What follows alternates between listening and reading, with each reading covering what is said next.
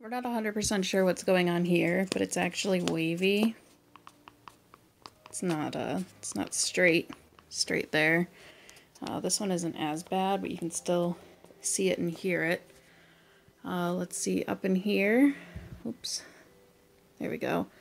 It's uh, falling apart up in there, like the it's like the eye cups coming out. Um, see the back of the head, the ears, like I don't even have to pull very hard on them, are coming undone. The uh, stitch right here is coming apart. This is all just open in there. Same with the other ear. The other ear is just falling falling off pretty much. Uh, let's see if I can get a video of the inside of the the head here.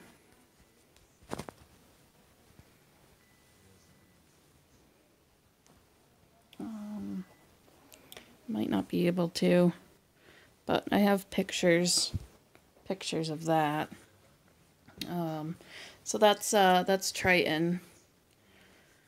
Oh, looks like there's some issues with the stitching here for the hair tuft as well. Uh, here's the other one. Uh, there's not really any problems with this one other than I had to fix the eyes, which I haven't completely fixed um, because the eyes were so big. I have to cut sections out and put more white in because I couldn't get the hot glue out. It was just everywhere. So that's something that needs to be finished.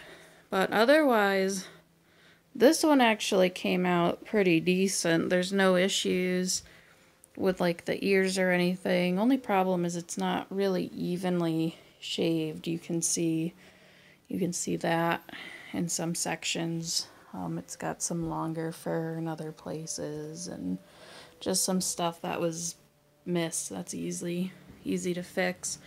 But the ears are the ears are held on there well. There's nothing wrong with it. Nothing's falling apart. It's really light. There's no stuffing in the back, whereas mine, uh, Triton here, it's all stuffing. It's actually polyfill, so it makes it very hard for the head to be put on. Um, this one just like it doesn't really have much going on on the inside. It's really comfortable to wear. It's easy to put on.